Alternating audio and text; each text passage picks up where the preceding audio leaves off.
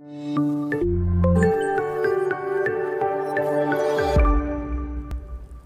everyone, welcome to SH Sir classes. Today talking about how to represent square root of 37 on number line. So today in this video representing root 37 on number line. So let's start. First of all drawing the number line. So first drawing a line of any length and mark the ends with arrows. Okay. Now taking here the starting number 0 now having to mark the numbers on the line by using compass. So taking any length by compass and mark the line by this way. And this length is called unit length or one unit length. And all length are equal okay. So this is one two three four five six seven and so on. And this side minus 1 minus 2 and so on. Okay. So now roughly discussing the concept about root 37 if there is a right angle triangle ABC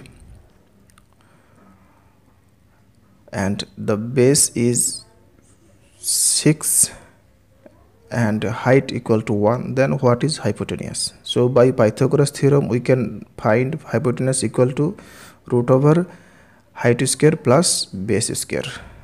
Okay. Now putting the value of height and base so this is 1 square plus 6 square.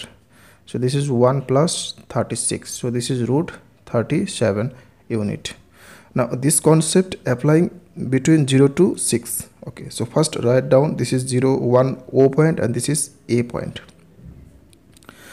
So now first having to draw a 90 degree angle on the point A okay by protractor.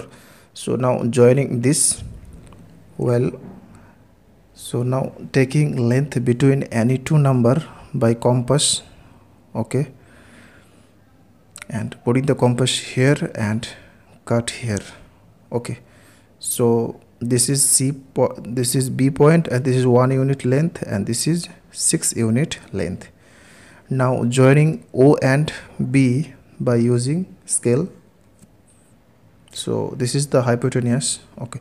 So from this we can say that OB equal to root 37 unit. Now taking the length OB by compass